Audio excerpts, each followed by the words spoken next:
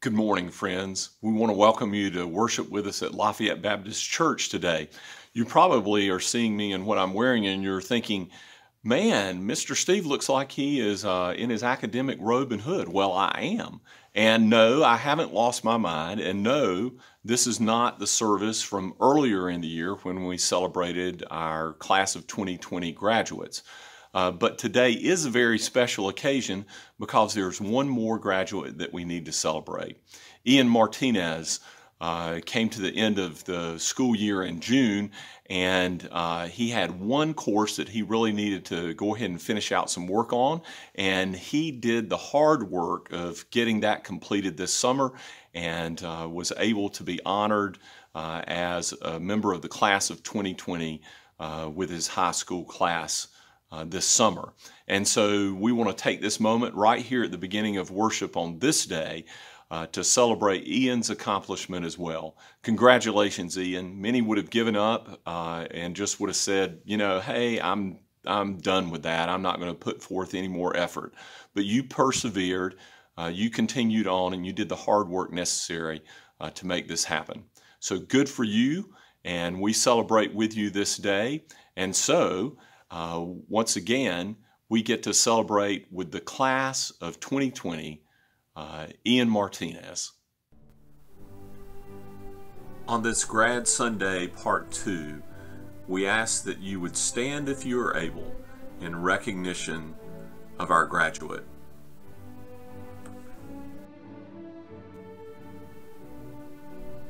We present to you the final graduate of the class of 2020. Ian Martinez, graduating from Douglas Byrd High School. Ian is the son of Alex Martinez and the stepson of Lori Martinez. They are both very proud of his accomplishment, as are we. We thank you for recognizing and praying for our graduates, all of them, and in particular Ian Martinez, giving thanks to God for this accomplishment. Now, join us for the remainder of our worship here at Lafayette Baptist Church.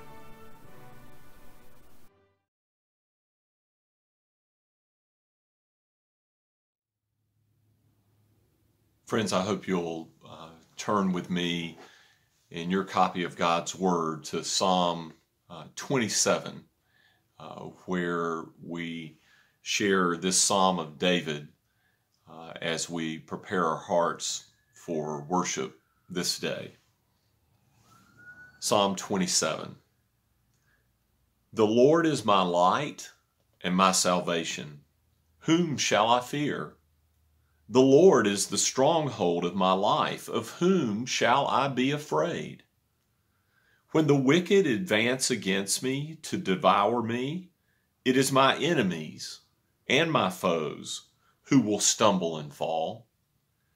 Though an army besiege me, my heart will not fear. Though war break out against me, even then I will be confident. One thing I ask from the Lord, this only do I seek, that I may dwell in the house of the Lord all the days of my life, to gaze on the beauty of the Lord and to seek him in his temple. For in the day of trouble, he will keep me safe in his dwelling. He will hide me in the shelter of his sacred tent and set me high upon a rock. Then my head will be exalted above the enemies who surround me. His, at his sacred tent, I will sacrifice with shouts of joy. I will sing and make music to the Lord. Hear my voice when I call, Lord. Be merciful to me and answer me. My heart says of you, Seek his face. Your face, Lord, will I seek. Do not hide your face from me. Do not turn your servant away in anger. You have been my helper. Do not reject me or forsake me, God my Savior. Though my father and mother forsake me, the Lord will receive me. Teach me your way, Lord, because of my oppressors, and do not turn me over to the desire of my foes. For false witnesses rise up against me, spouting malicious accusations. I remain confident of this I will see the goodness of the Lord in the land of the living. Wait for the Lord. Be strong and take heart, and wait for the Lord. Would you join me in a word of prayer? Father, as we gather today and as we share this service together and as we hear the message that is brought uh, throughout this entire service, but especially as your servant comes later and Andy shares with us the message you have given him, uh, we are thinking today about how it it could be worse. And when we think about that, Father, um, there are many things in this world uh, that uh, we struggle against and uh, that we have on our hearts and our minds and we consider to be difficulties of this day and age in which we live. Uh, but help us to be encouraged by the fact that you are with us even in the midst of these times. May the words of this psalm encourage us and may we take the thoughts and expressions of David and may they become true about our lives as well. We offer this time of worship to you, Father, and pray that you would be at work in our hearts and our minds and our lives as a result of our time together today. Take this time and use it, Father. In Christ's name we pray. Amen.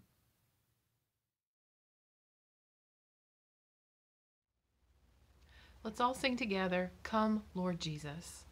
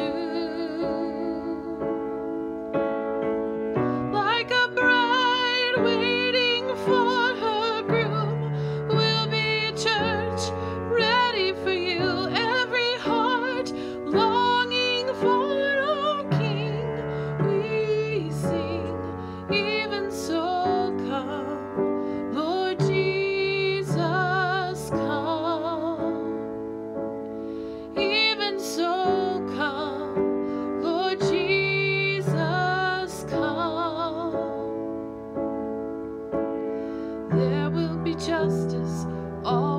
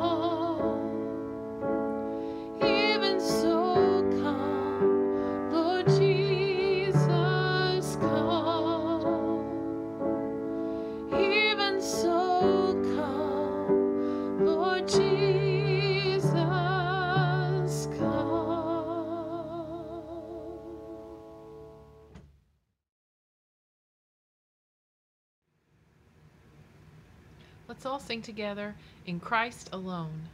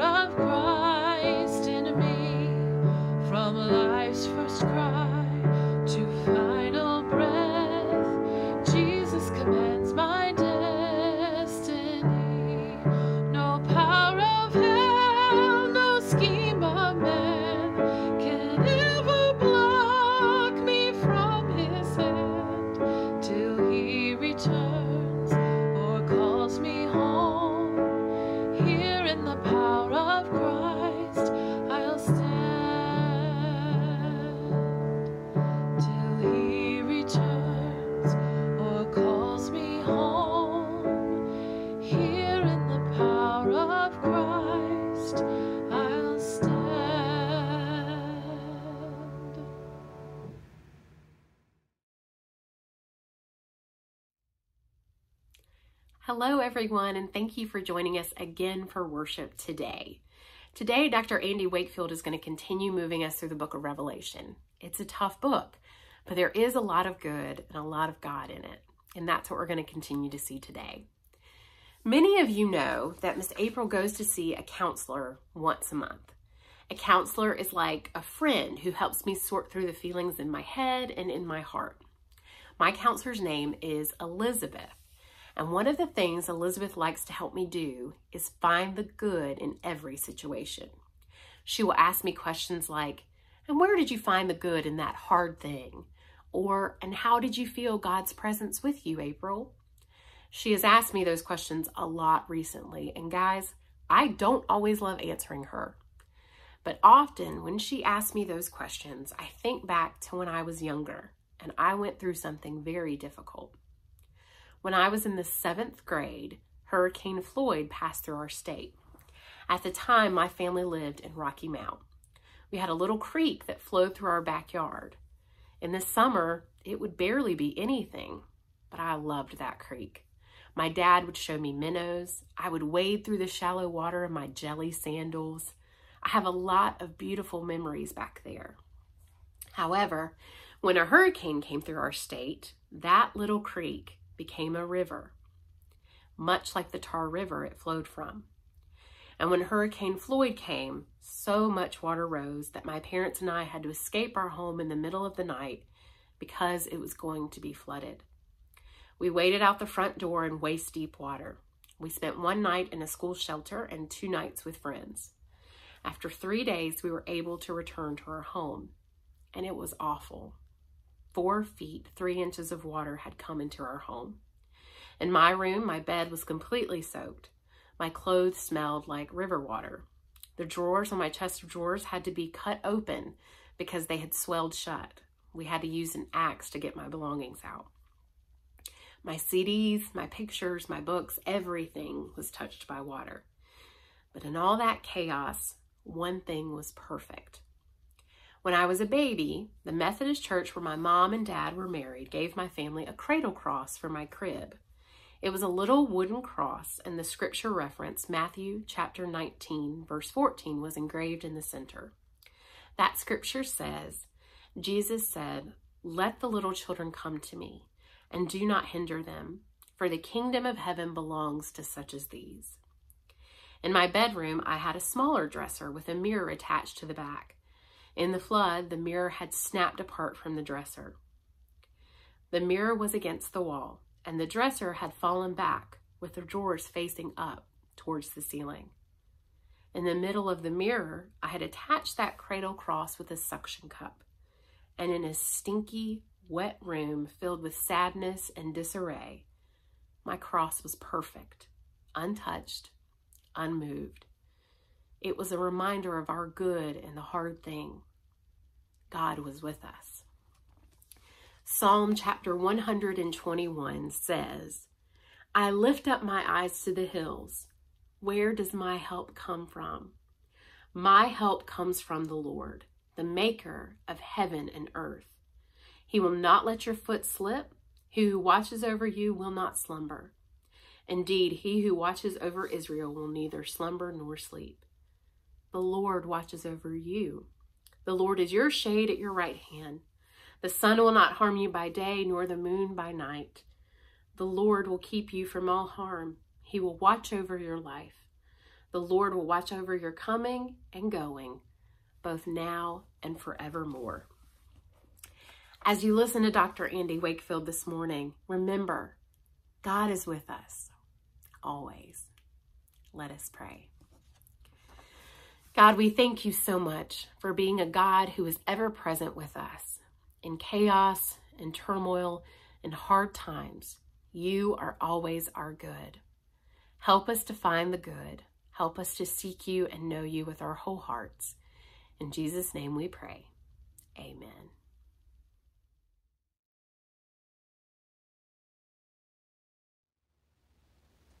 Let's all sing together, It is Well with My Soul.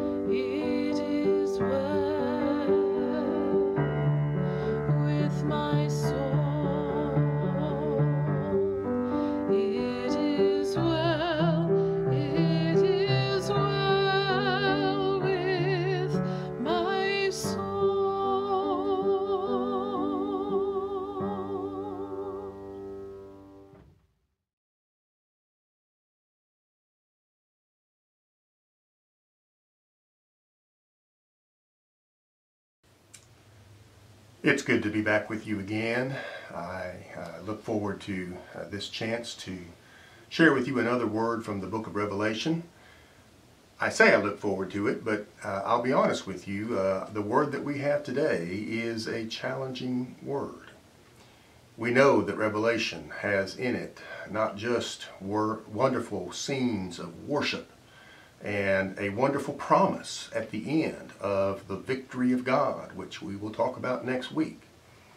But it also has a lengthy uh, section uh, in the, the middle of the book, chapter 6 on through at least chapter 16, if not further, that is filled with difficult images, visions of plagues and judgments. And I think we're going to have to deal with that. So I'm going to read for us uh, the beginning of that section, chapter 6 of the book of Revelation. And I invite you to hear what God has to say to us today. And I looked. Whenever the Lamb opened one uh, of the seven seals, the first of the seven seals, and I heard one of the four living creatures speaking with what sounded like a voice of thunder Come. And I saw, and behold, a white horse, and the one seated upon it having a bow, and a crown was given to him. And he came out conquering, and in order to conquer. And when he opened the second seal, I heard the second living creature saying, Come.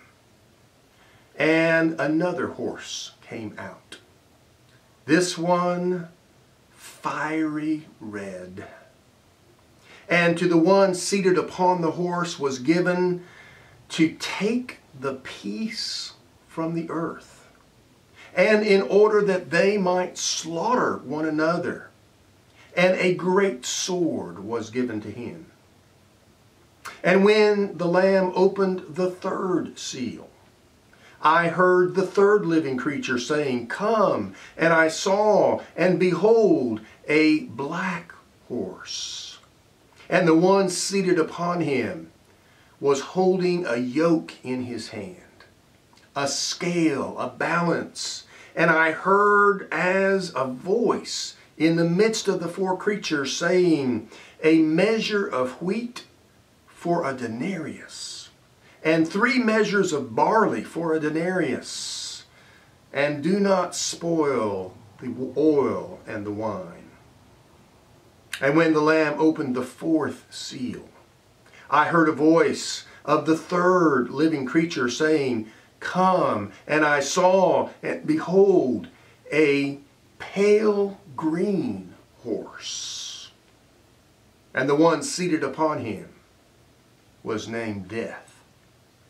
And Hades followed after him, and it was given to them authority over a quarter of the earth to kill with the sword, and with famine, and with pestilence, and with wild beasts.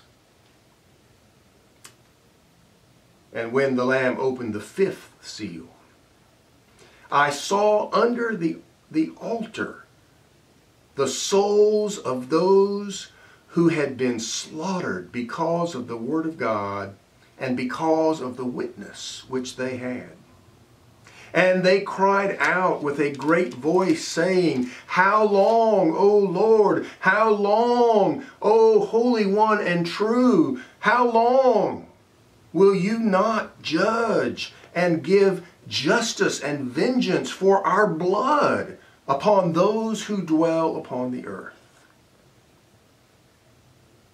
And it was given to them, to each of them, a white garment and it was said to them that they should rest yet a while until their fellow servants and their brothers and their sisters, all of those who were about to die like they did, should be fulfilled and added to the number.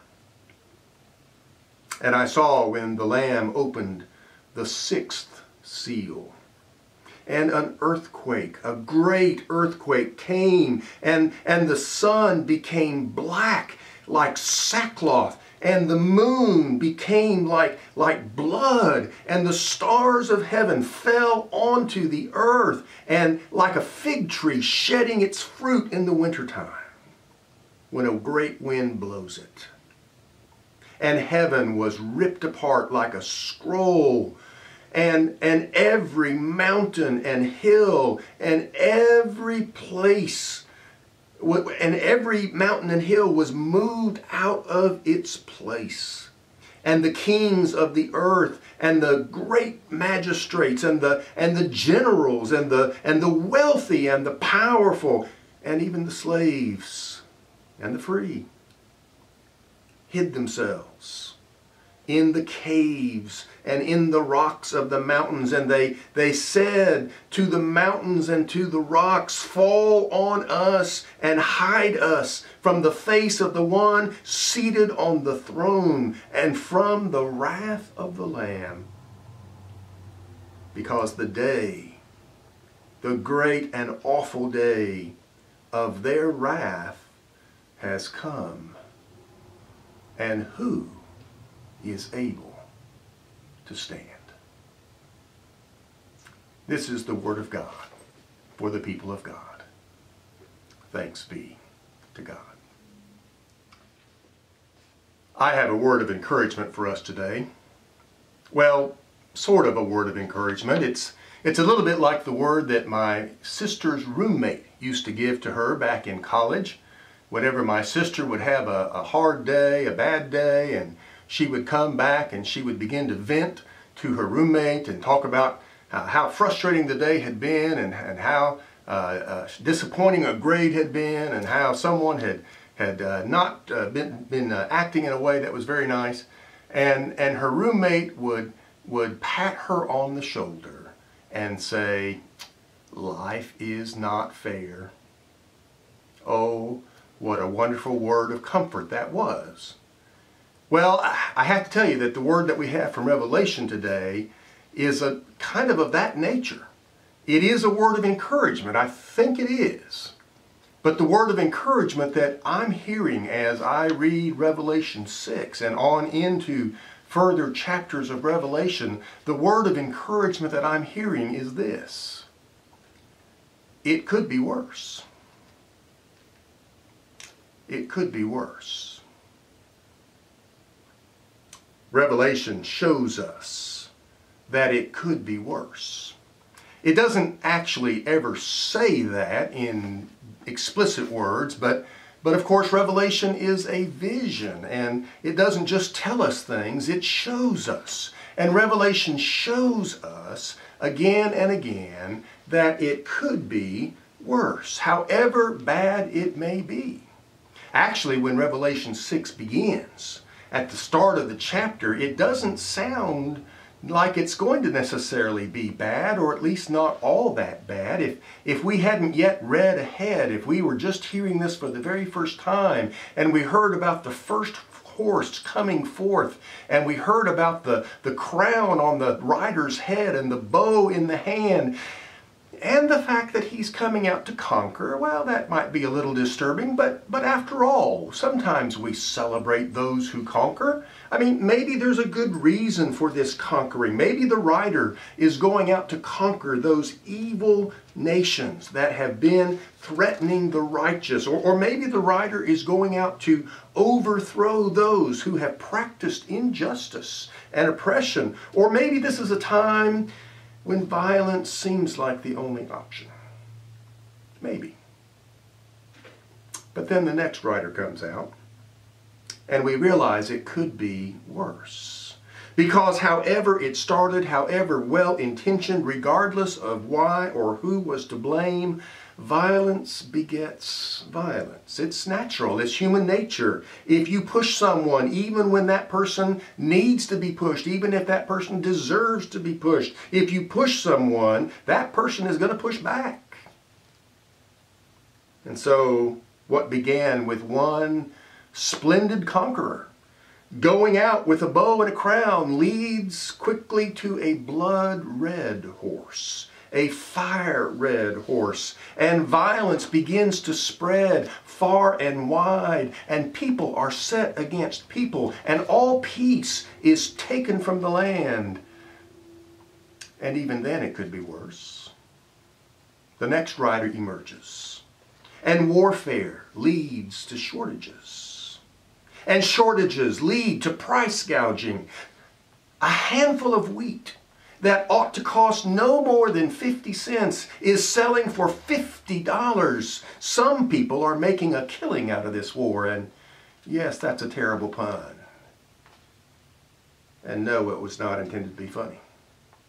Some people, those who have wheat to sell, don't think things are so bad. Not bad at all, but you guessed it. It could still be worse. The next rider emerges, and now there is no doubt that things are bad. Really, really, really bad. This horse is pale green, and that probably sounds like a strange color until you realize that that's the color of a corpse.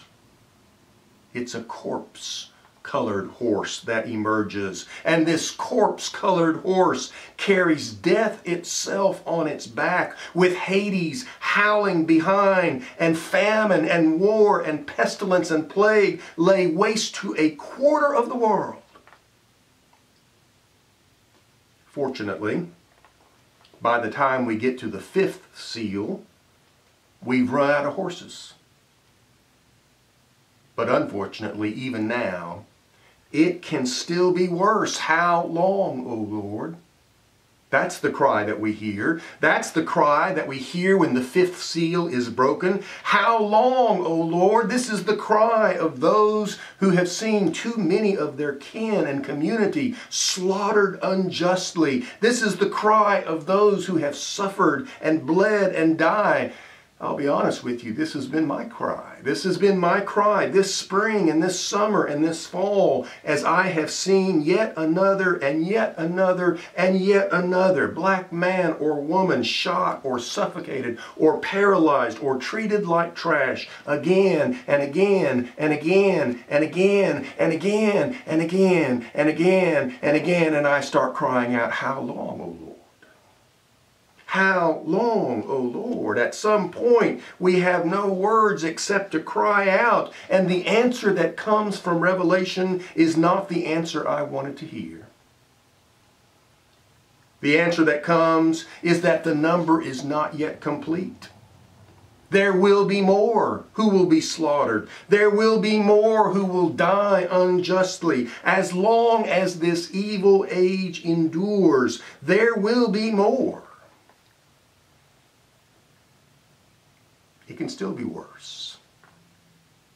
And it will be. And so the sixth seal is broken, and the sun and the moon are poisoned, and the stars are cast down. Nothing is safe. Nothing is stable. The very mountains and rocks and hills are shaken out of their place. Even those who might have been able to thrive in the earlier chaos, even those who sold the overpriced wheat, even those who counted themselves smart for avoiding the violence, even those who had enough power or wealth or security to be safe when others were not, even those, even the kings and the judges and the generals and the rich and the powerful, even those together with the poor and the slaves, all will pray for death as they finally recognize that no one can stand before the wrath of God. Are you feeling comforted yet? Are you feeling encouraged? Maybe you're thinking that at last we've reached the end. As horrible as it has been, at least we've seen the worst. But I'm sorry, because even now, it could be worse. Where's the seventh seal? Where's the seventh seal? We, we, there were seven seals on the scroll, and we've heard six of them opened in chapter 6. Where's the seventh seal? There's a, there's a pattern to all of this section of Revelation, from chapter 6 all the way through 16 a pattern that, that revolves around the number seven. And you know, I'm sure you know that, that the number seven is a number that, that is of profound importance in Jewish thought. It's a number that, that represents completeness. So if seven is complete, what is six? When you get to the sixth seal, you find yourself hanging on the edge. You are waiting for something to be finished, waiting for there to be a conclusion, but we haven't gotten there yet. And in this vision of Revelation, this dramatic vision of Revelation, Revelation plays on this, this tension of, of being on the edge and waiting and looking for completion and not getting it. Because when we get to the seventh seal, well, before we even get there, before we even get to the seventh seal, Revelation makes us wait. It pauses, it turns to other visions, and, and we kind of wait through the commercial break, waiting to see what's going to happen with that seventh seal. Finally, the seventh seal is opened, and when it's opened, it turns out that there's now seven trumpets. Oh, here we go again. Seven trumpets, and, and one is blown after the other. And once again, each trumpet signals yet another calamity, yet another woe on the earth, yet another plague. We hear the trumpets blown one after another, all the way up to the sixth trumpet, and, and once again we hang there, waiting and Revelation turns its attention to something else. We hear these other visions. It keeps us waiting. It comes back for a moment and says the seventh trumpet is, is getting blown, but then it turns again back to these other visions. It holds us waiting, waiting, waiting for the conclusion. And finally, finally, in chapter 16, we get to the point where the seventh trumpet is, is coming to culmination. And guess what we get? We get seven bowls of wrath. Do you get the picture? No matter how far we go, no matter how long it's been, no matter, no matter how close we feel like we've gotten to the edge, gotten to the end, gotten to where we're surely just one step away, there's still more. It could be worse. It could be worse. Let me say a quick word. And that is that with the seventh uh, bowl, with the seven bowls, the pattern changes.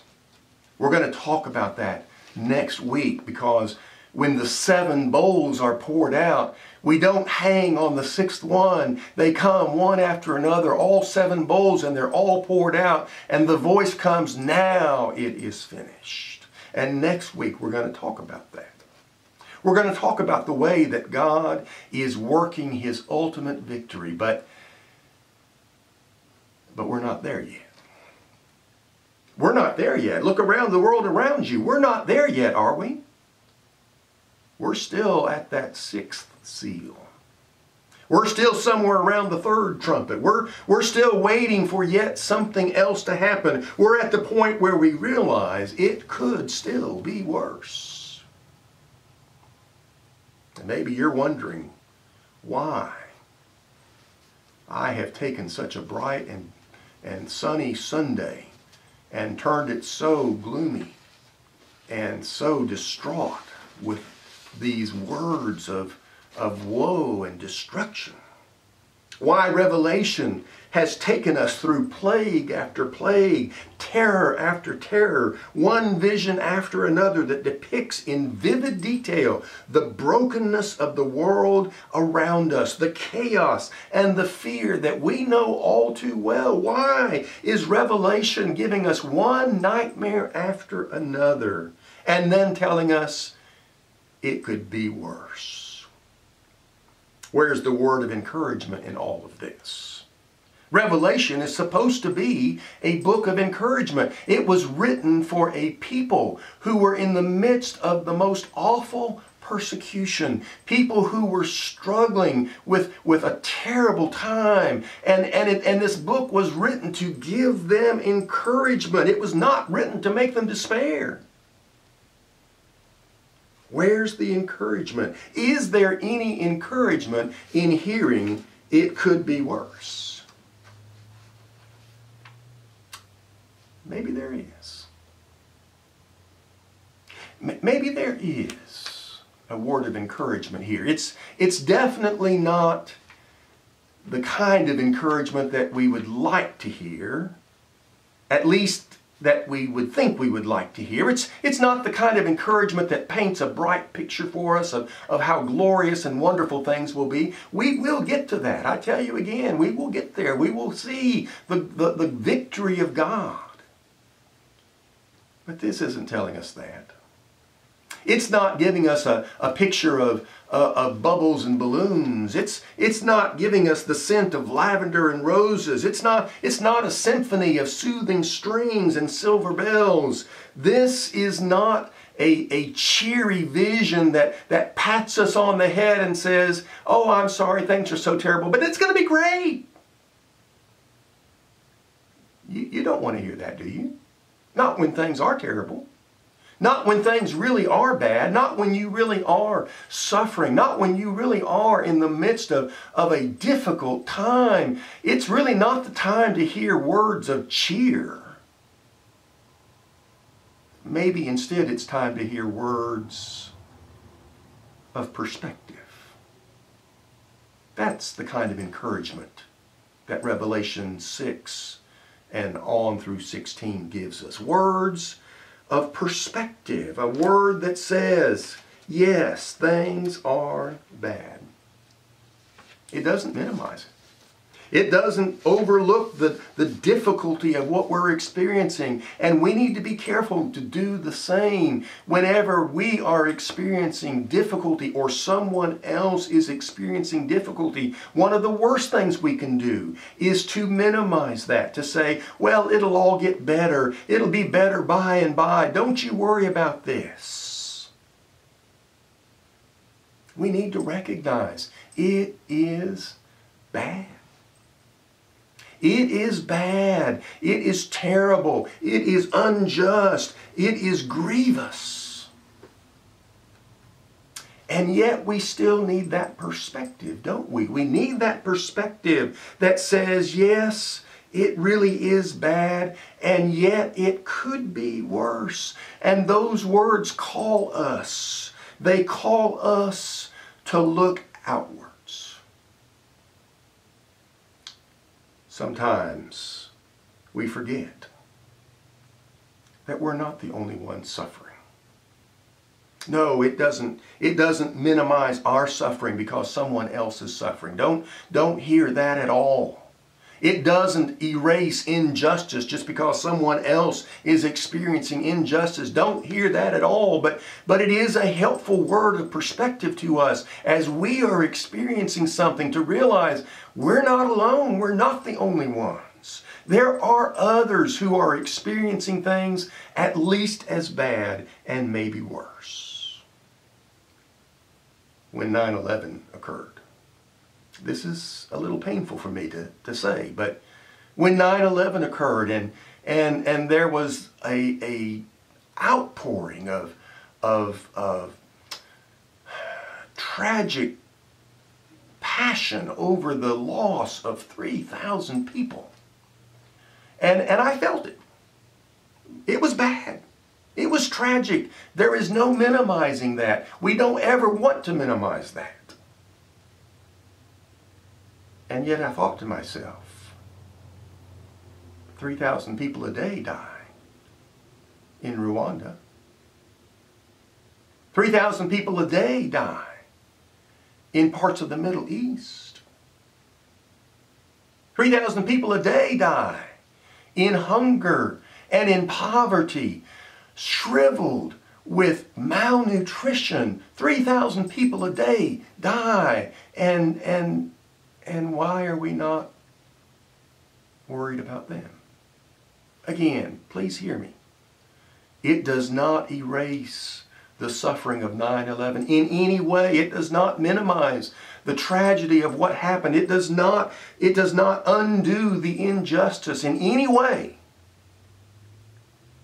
But it does give perspective, doesn't it? It could be worse. It could be worse. This is a call to look outwards. But it's also a call to look forwards. So often, when things go tragically wrong, when, when life turns in a terrible direction, when we experience something that is, that is so overwhelmingly bad, our natural tendency, our, our natural tendency is to feel like life is over. And in a sense, we're right. It is. Life as we have known it is over. It will never be the same again. We'll never have what we had before. Life as we'd have known it is over. That's true. And yet life isn't over. The world hasn't come to an end. God's not finished yet. Sometimes we need a reminder that as bad as it is, and again, don't minimize it. It's bad. But it's not the end. This is a word to remind us to look forwards, to look outwards. And it's also a word that reminds us to look upwards. My mom helped me tremendously when I was in college. She helped me many times, but one of the ways that she helped me in particular was I was dealing with something, I don't even remember what it was, but it was something that at the time felt like, like a world ending tragedy. And maybe that sounds melodramatic, but at the time, it was for me something terrible that had happened. I don't remember what it was, but, but I do remember what my mother said. She said, Andy, I want you to imagine the very worst possible outcome. Thanks, Mom. That's really comforting. No, I want you to imagine the very worst possible outcome. And then I want you to ask yourself,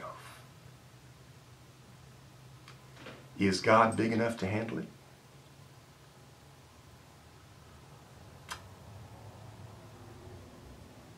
That was a word. That was a word of comfort to me. That was a word of encouragement to me. No, not a word of cheer, but a word of encouragement. It could be worse. But even if it is, God is big enough for that too. Would you join me in a word of prayer? Almighty God, we struggle. We struggle with how to even make sense of, of a world of chaos. We struggle to, to know how to help others and comfort others who are in the midst of suffering. We, we face injustice that is inconceivable.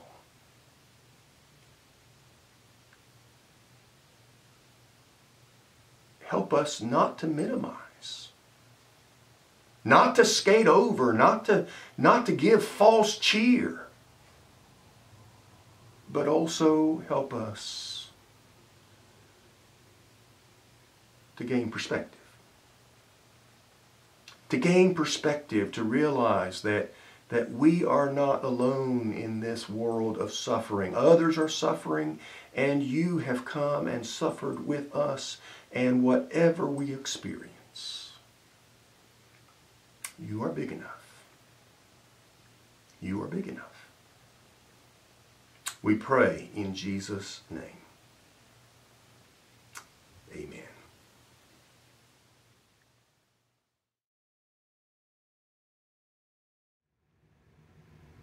Let's all sing together. Turn your eyes upon Jesus.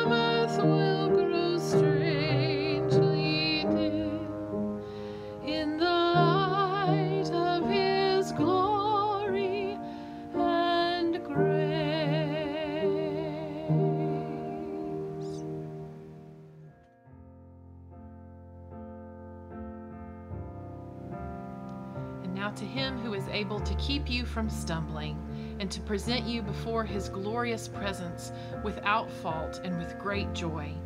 To him be glory, majesty, power, and authority through Jesus Christ our Lord, before all ages, now and forevermore.